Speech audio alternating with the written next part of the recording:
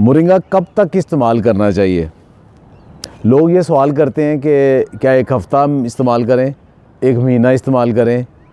कब तक इस्तेमाल करें? आ, इसका जवाब आसान भी है और बड़ा मुश्किल भी है। आसान जवाब ये है कि मुरिंगा फ़ूड सप्लीमेंट है। तो जैसे हम दूध सारी उम्र पीते हैं अंडा सारी उम्र खाते हैं हम रोटी सारी उम्र खाते हैं फ्रूट हम सारी उम्र खाते हैं। तो इसी तरह मुरिंगा को भी हमने एक ऐसी फ़ूड समझ लिया है कि जो हमारी जो कि रूटीन की हम आ, हमारी खुराक है वो बैलेंस नहीं है। चूँकि वो बैलेंस नहीं है इसलिए हमारी जिसम के अंदर कमी आ जाती है। एक चीज़ की दो की जातियाँ किसी मिनरल की किसी विटामिन की कमी आ जाती है चूँकि हमारी खुराक बैलेंस नहीं है।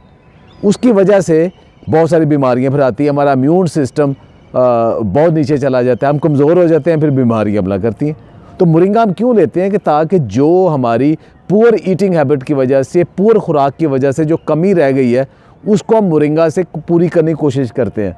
तो जब आप समझते हैं कि अब आपकी खुराक बड़ी बैलेंस हो गई है, अब आपको नहीं ज़रूरत मुरिंगा छोड़ दें, लेकिन मैं ये कहता हूँ कि मुरिंगा को सारी उम्र लें। आप जब तक अल्लाह ताला ने आपको ज़िंदगी दी है, आप मुरिंगा इस्तेमाल करें। कभी चाय लें, कभी पाउडर लें कभी उसकी फूल भी खा लें, कभी जड़ भी खा लें, लेकिन जो सबसे ज़्यादा इस्तेमाल वाली चीज़ है, सबसे ज़्यादा फ़ायदे वाली चीज़ है, वो उसके खुश्क पत्ते हैं। और उसको कम से कम एक से तीन ग्राम रोज़ाना ले। कभी कभार छोड़ दिया करें, आदत भी ना बने।